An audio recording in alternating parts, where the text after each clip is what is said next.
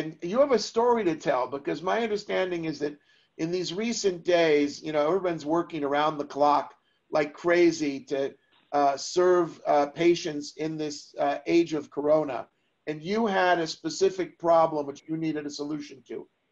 We, we, we had, first of all, as you mentioned, we have a lot of issues which are, uh, uh, you know, we, which we need to deal with a very short uh, time. During Friday, in Israel, there was a change in the policy on how to conduct the, the coronavirus tests. We have a very huge uh, lab, which is able to run many, many tests within a very short time.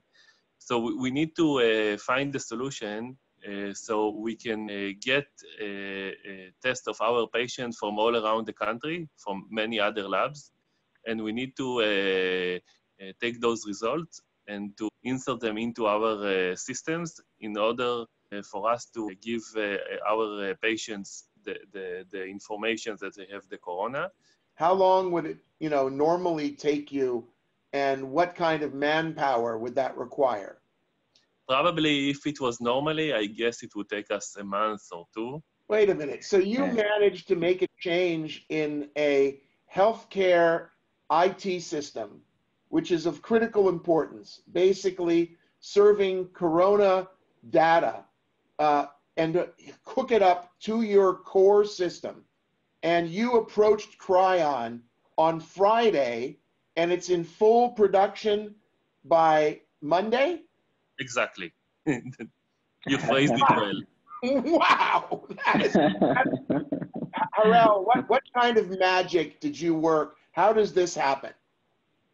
So no, basically, I've got uh, I've got a phone call from uh, from Daniel our VP of uh, partnership, and he, he said, you know, the, there is a crisis in Maccabi. They are looking for, you know, they need to uh, identify information or gather information from the uh, Israeli government healthcare office, uh, then identify all the relevant data, integrate it into Maccabi systems, and then make sure that they have all the required um, you know, identification or communication with their patients in order to uh, bring that uh, as fast as, we, as they can uh, to their co- consumers or to their customers or patients eventually.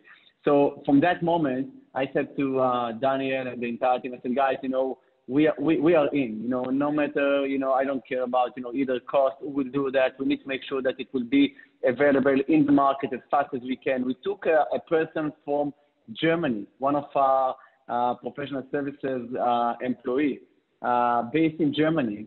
Uh, we, you know, these days again, maybe um, you know a few words before that. These days, it's insane for the RPA for Kryon RPA solution because you know these days when companies had to uh, had dramatic cost reduction, they need to maintain the services while they had to either lay off people or you know try to figure out how to maintain their activities while their employees are at home.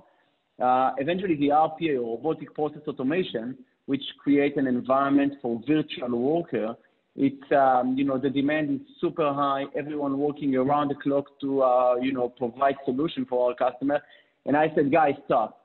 Beside of the other activities, we need to focus now on Maccabi situation because eventually, you know, it can help the entire, you know, population gonna, in Israel. It's going to save lives. But so your exactly. solution exactly. basically is a robotic process automation where bots basically go through the, the mountains of code and automatically configure this data so that it could be integrated fully in production for Maccabi's system. Guys, only in Israel does this kind of stuff happen.